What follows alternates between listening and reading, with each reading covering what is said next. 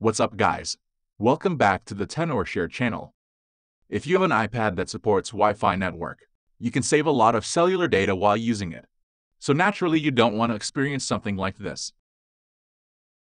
It says enable to join network repeatedly, suggesting incorrect password when you have clearly entered the correct one, showing no internet connection. As a result, you can't do anything at the moment that requires network connection. In this video, we'll show you 6 methods to fix it. Let's dive in. The first one is pretty simple. All you have to do is turn airplane mode on, and turn it off. Your Wi-Fi should be reconnecting automatically. If this doesn't work, try to rejoin the network. Tap the I button right here. Tap Forget this network. Then go ahead and confirm. Now try to rejoin this network.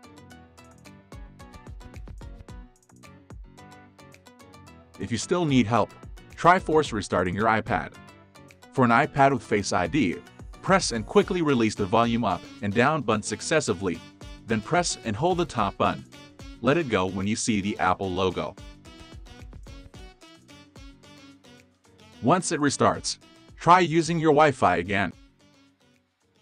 If the issue persists, try resetting your network settings. In general, Swipe all the way down, tap Transfer or Reset iPad. Tap Reset. Then select Reset Network Settings from the menu. Make sure you have your Wi-Fi password ready. Then reconnect once it finished rebooting. The next tips is check your router. Restart it or check if the cable is plugged in properly.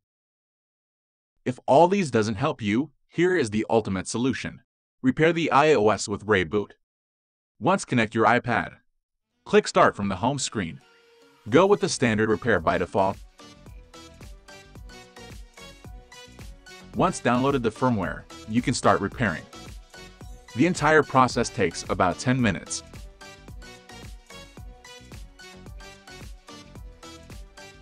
Once the repair is completed, check if you can connect to Wi-Fi once again.